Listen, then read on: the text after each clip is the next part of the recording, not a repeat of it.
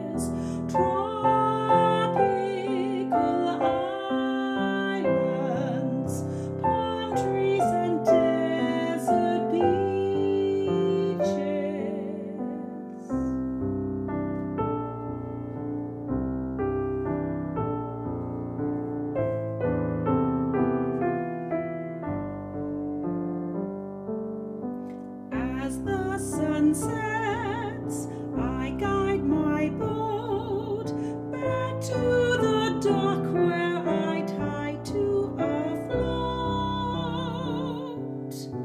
I tell the crew our voyage is through, but in the morning we'll sail.